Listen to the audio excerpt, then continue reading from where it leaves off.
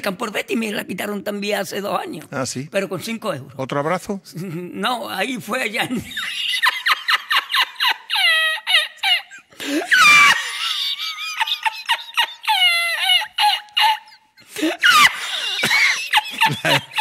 La gente está Un poniendo... abrazo, no. Ahí fue ya, entrar en el control ese y digo, para una salchicha y un Coca-Cola. Claro. Con la crisis se está poniendo muy cariñosa la gente. No había crisis. Cuando me la quitaron fue en el 2004, me lo tengo apuntado.